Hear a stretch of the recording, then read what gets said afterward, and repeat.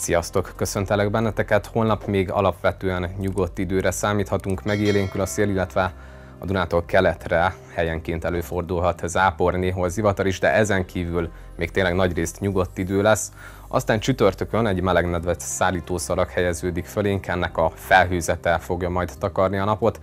Pénteken pedig hideg front vonul át, és sok felé várható az országba zápor, zivatar, a front mentén pedig tartós eső is.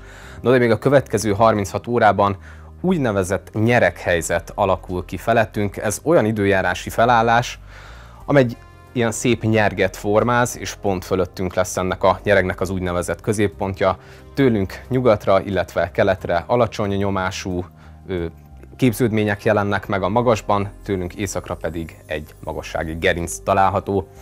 Az előttünk álló éjszaka az ország legtöbb pontján kiderül az ég, azonban a dráva mentén foltokban pára köt képződhet, de ez kis területre korlátozódik tehát, illetve még ami érdekesség lehet az éjszakával kapcsolatban, hogy kelet felől az Alföldre besodródhat egy-egy zápor, de az ország nagy részén száraz idő lesz.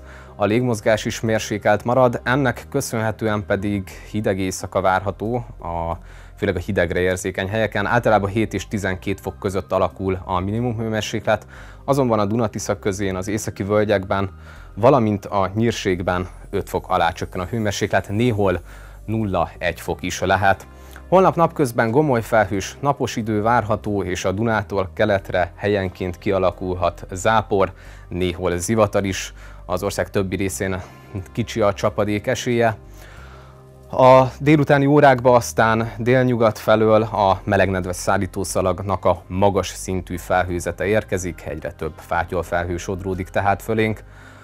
A délkeleti keleti szél élénk, néhol erős lesz, illetve záporok, zivatarok környezetében is előfordulhatnak erős tökések.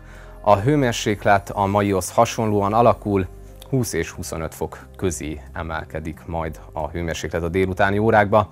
Ami pedig a következő napokat illeti, csütörtökön tehát a melegnedves szállítószalagnak a felhőzete lesz az ország délnyugati, nyugati fele fölött, a hőmérséklet jelentősen nem változik ekkor még, majd pénteken hidegfront érkezik szokatlan irányból, délnyugat felől, amely majd észak-kelet felé halad, és sok felé várható az országba eső, zápor, zivatar, felhőszakadásszerű csapadékra is kell számítani, és több felé jelentős mennyiség eshet.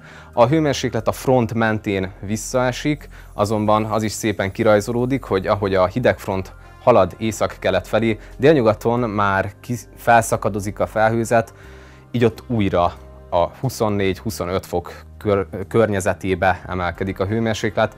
Szombaton pedig a front már elhagyja hazánk térségét az éjszakai órákban, a front mögött azonban még kialakulhat zápor zivatar, elsősorban az országnak az észak-keleti keleti felén.